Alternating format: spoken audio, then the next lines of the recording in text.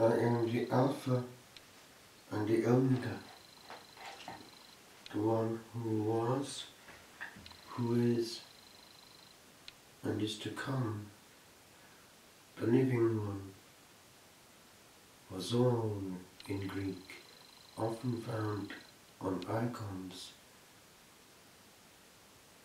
God is essential being. We have a share in it. In contingent being, we can not be. But once sparked, the soul will not cease to be. The only thing is that it can badly be. Very, very badly be. And the moment of choice is already here in time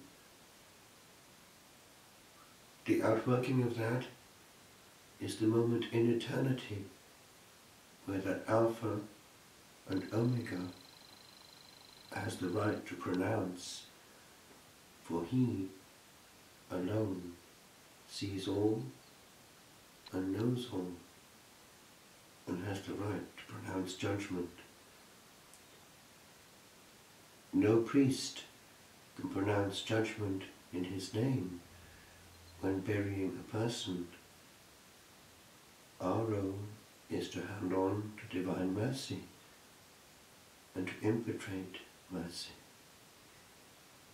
It is wrong to step into the judgment seat and there to pronounce, as it were, the verdict in God's name. It can damage massively the poor soul. Even Padre Pio pleaded that they not talk of him as a saint, for he knew that would mean at his death he would be deprived of the very thing he needed. The king is the high king. Near here we have the place of the high king of Tara. In ancient times he had authority, an authority which St. Patrick had to confront. But their authority lasted but a time, and they are now no more with us. But their soul too has gone forth and is in that great mysterious silence awaits us all. That journey from which no traveller returns. The High King that we have has his own reign, and the preface of this day summed it up beautifully. High poetry and beautiful chant, well balanced high tone. Listen to the elements.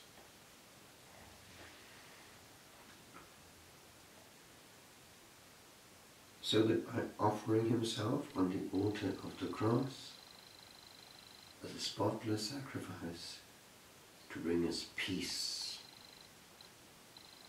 he might accomplish the mysteries of human redemption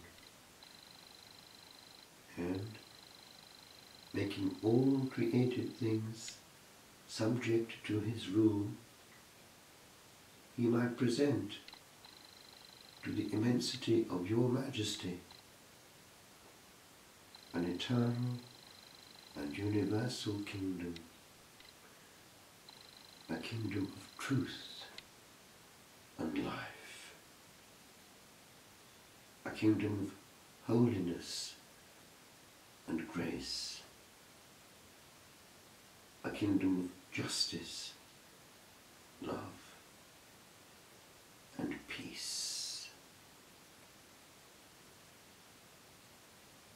Is that what we see in our earthly kingdoms of today? Very different, I would say. what do we do?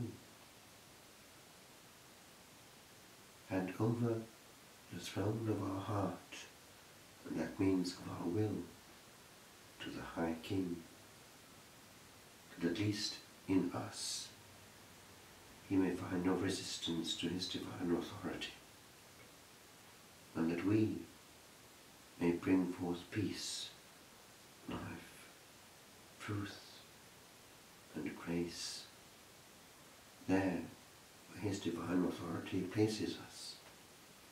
Hic et nunc, right now, in time and in geography. There may he reign. Lord, I hand over all authority over myself, over all my faculties, body, soul, and mind, to you. Take over, reign, and through me heal and save all that you will until we meet under your divine gaze.